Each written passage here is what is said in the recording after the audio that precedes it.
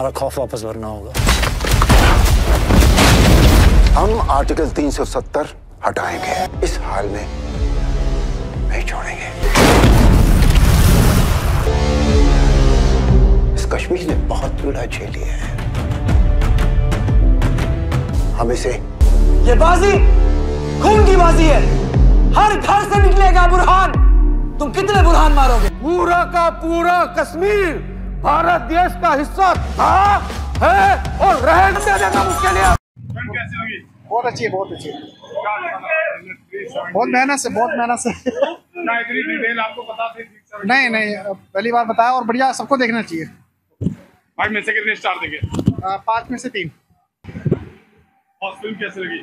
अच्छी मूवी थी धारा थी तो तीन सौ सत्तर पे थी कश्मीर से जो हटाई गई है धारा तो उस पे थी। क्या लगता है इस तरह की फ़िल्मों को नहीं बिल्कुल दर्शकों को अच्छी लगेगी और दर्शकों को पसंद आएगी दर्शकों को उत्साह बढ़ाएगी और एक देशभक्ति भी कह सकते हैं देशभक्ति के आधार आधार तो सही है लेकिन कहीं ना कहीं इस फ़िल्म में मोदी जी को ज़्यादा चमकाया गया इलेक्शन भी नज़दीक आ रहे हैं और इसी टाइम हाँ इलेक्शन में भी इस, चीज़ का बहुत फ़ायदा मिलने वाला है अगर इस तरह की पिक्चर आएगी क्योंकि अब जैसे धारा अभी क्या नाम है राम मंदिर का उद्घाटन हुआ है उसके बाद अब धारा तीन सौ सत्तर पे मूवी आ गई है तो फिर ज़रूर ज़रूर कुछ ना कुछ हाँ बिल्कुल बिल्कुल। फाइव में से फोर पॉइंट फाइव स्टार दूँगा मैं। आप फ़िल्म कैसी लगी? मूवी बहुत बढ़िया है। क्या कुछ अच्छा लगा आपको देखिए सबसे बढ़िया जो मूवी में लगा ना वो है जो डिफ़िकल्टीज थी तीन सौ सत्तर को हटाने को लेकर के भारत सरकार को कितनी दिक्कतें आई और वो सारा चीज़ इसमें मूवी में दिखाया गया है। तो मुझे लगता है कि पब्लिक इसको बहुत पसंद करने वाली है बहुत बढ़िया मूवी है। वही बात की जाए इलेक्शन नज़दीक में आ रहे हैं अभी राम जी का उद्घाटन था अयोध्या में और फिर इस फ़िल्म का तो कहीं ना कहीं इलेक्शन से भी जुड़ा जा सकता है क्योंकि चंद दिनों बाद इलेक्शन स्टार्ट हो जाएगी। देखिए ये तो पॉलिटिकल चीज़ें हैं ये तो चलती रहती हैं लेकिन वाकई में तीन सौ सत्तर हटाया गया और देश का फ़ायदा हुआ है इस मूवी में दे दिखाया गया। पाँच में से कितने स्टार देंगे पाँच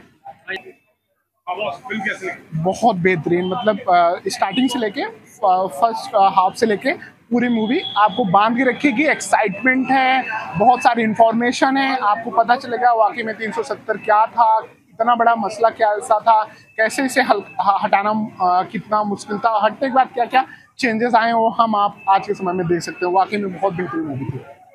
ऐसा भी कह सकते हैं कि बीजेपी इस फ़िल्म के माध्यम से नहीं नहीं आ, नहीं नहीं बीजेपी तो अलग थी चुनाव में हर राजनीति करते लेकिन 370 एक आ, वाकई में एक मसला था, बड़ा मसला था। एक देश, दो संविधान, दो झंडे कहीं नहीं होते। कश्मीर में था तो आज लोगों को पता चलेगा, जो नहीं जानते थे 370 में, उसके बारे में सच्चाई भी पता चली किस तरीके से इतिहास, संविधान में छेड़छाड़ हुआ, उसके बाद कैसे हटाया गया। पता चले। यमी बहुत अच्छा काम किया काफ़ी बारीकियों के बारे में बात की गई है इसमें शायद आम जनता को इसके बारे में नहीं पता होगा हाँ। तो शायद अब इन्हें पता चल पाए। बिल्कुल। एक मैसेज तो कन्वे होगा नो डाउट एक मैसेज जो कन्वे करना चाहता है डायरेक्टर वो करेगा। करना भी चाहिए क्योंकि सिनेमा हमेशा समाज का आईना रहा है वो मैसेज कन्वे करता ही। में। फाइव फ़िल्म बहुत अच्छी थी।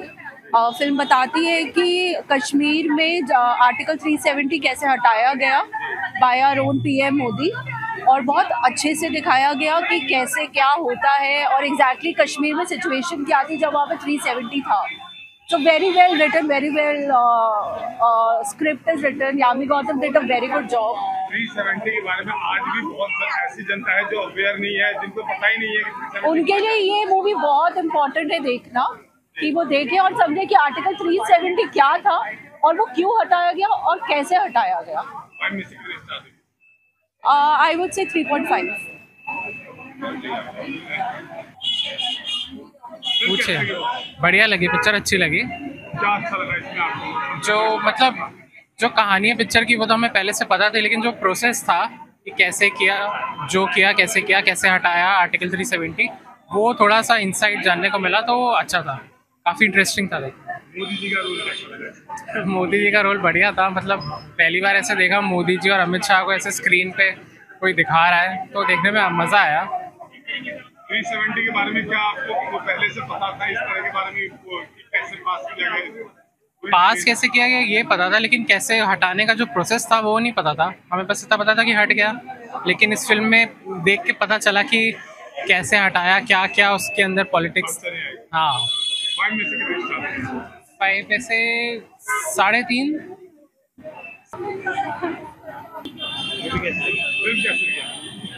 काफ़ी अच्छी है मूवी।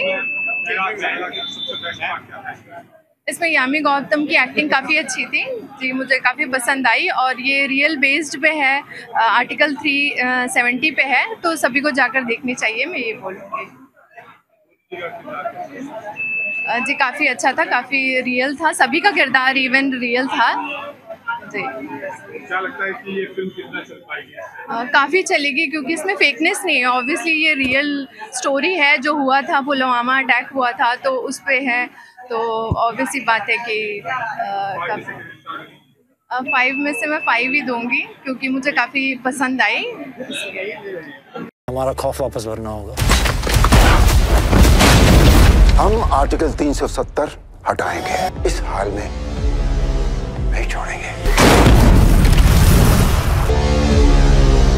इस कश्मीर ने बहुत पीड़ा झेली है। हम इसे ये बाजी खून की बाजी है। हर घर से निकलेगा बुरहान। तुम कितने बुरहान मारोगे? पूरा का पूरा कश्मीर भारत देश का हिस्सा था है और रहने देना मुश्किल है